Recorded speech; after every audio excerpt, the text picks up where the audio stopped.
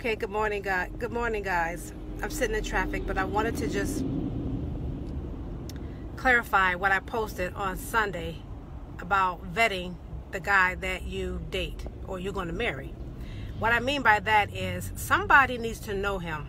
Somebody that knows him needs to be able to speak into his character, speak into who he is as a person, speak into um, his intentions, speaking to about his, about who he is as an overall person. Now, I totally understand that that is not the case, or may not be the case, if you find someone or if you end up uh, getting engaged or possibly marrying someone that you met online. That may not be the, that may not be an option.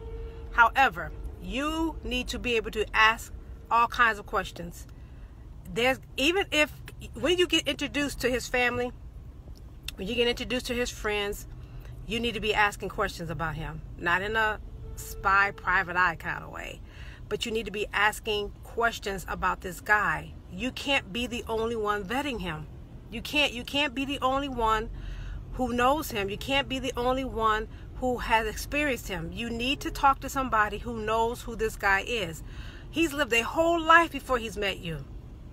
And you need to know what that life looked like. You need to know what he looks like uh, how he responds under pressure, under stress, under anxiety. I mean, he's going to experience it different with you, but you need to know who this guy is. You can't be the only one who has vetted him. So important. So important. Again, if you meet somebody who's a complete stranger and there's no history, that's understandable. But once you get introduced to his friends, to his family, you need to be asking questions about this guy. You have to do that. It's so important that you do that. I do not encourage you to marry a guy that you're the only one who has vetted him. Because you're not thinking clearly. You're not you're not you you're not thinking long term. You're not thinking history. You're, you're thinking I'm so in love. I get to spend the rest of my life with this guy. He's the best. He's better than anything I've ever had.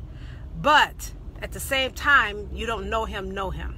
So you need someone to vet him. That's what I mean by getting him vetted. Very, very important uh, that you do that and that you're not the only one signing off on this relationship without talking to anyone else about him. Okay, guys, have a good day. Bye bye.